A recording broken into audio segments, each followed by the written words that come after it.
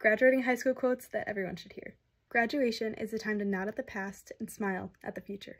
The future belongs to those who believe in the beauty of their dreams. It was high school after all. Definitely one of the most bizarre periods in a person's life.